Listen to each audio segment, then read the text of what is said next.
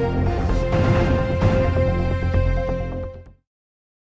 A baby girl in the U.S. state of Mississippi who was born with HIV appears to have been cured after very early treatment with standard HIV drugs. It's a potentially groundbreaking case that could offer insights into how to eradicate HIV infection in infants. Doctors put the infant on a cocktail of three HIV fighting drugs instead of the normal one, and researchers believe the use of the more aggressive antiretroviral treatment when the child was just days old likely resulted in her cure. Live to our Durban studios, where Professor Abdul Karim, the director at the Centre of AIDS Programme of Research in South Africa, is with us. Thanks very much for your time, Prof.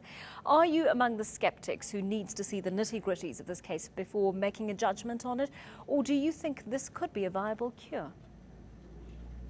Well, looking at the preliminary data, this is very exciting. I'm very impressed with the data that they've gathered.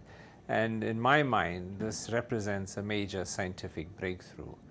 In the field of HIV, there are two holy grails. The first is our ability to vaccinate and create in a human being the possibility of preventing the acquisition of HIV. And the other is to develop a cure. This particular finding gives us for the first time a glimpse of how antiretrovirals may enable people to clear the virus and essentially lead to cure. Here in South Africa, in the case of a newborn whose mother hasn't taken ARVs, is the kind of cocktail reported on in this American case ever used?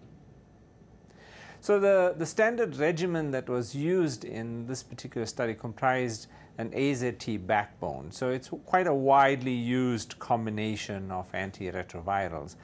The, the difference is that normally when we're trying to prevent HIV in the baby, we use a standard of one or two drugs.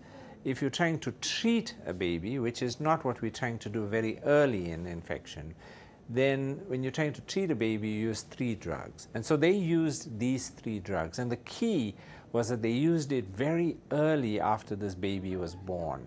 And that may be the clue that we've been looking for in terms of how is it we can prevent the body from creating a reservoir of HIV that leads to this lifetime infection. Are, are you keen to, to start clinical trials on something similar to this, Prof? Well, right now it's not uh, practical to be looking at clinical trials. What we need is confirmatory evidence. We're just seeing this in one child. Was there something unique about this child? Did this child have some genetic advantage, for example? All of those things need to be investigated. We need to look for other cases. We need to show that this can be replicated.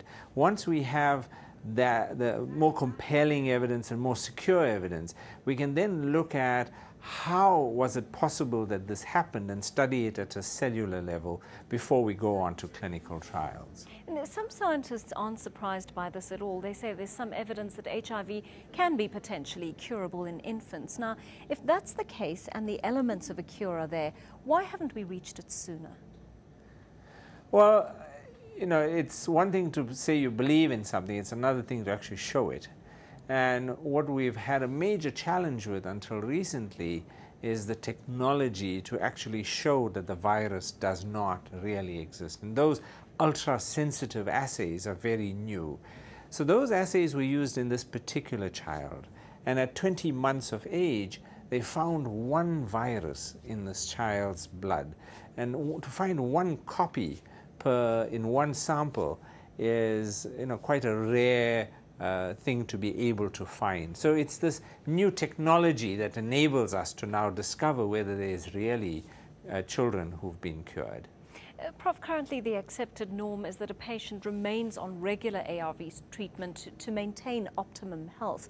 Are you at all concerned that the broken treatment noted in this American case is going to maybe influence South African parents to take their kids off consistent treatment and just hope for the best as it happened with this American child?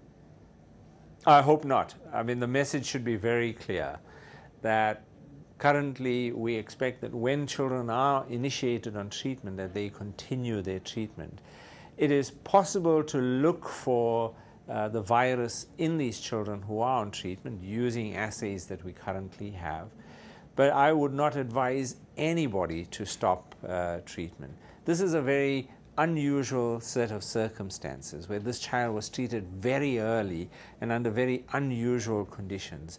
So I would not imagine that this will be a regularly observed event. Professor Abdul Karim, thank you very much for your analysis.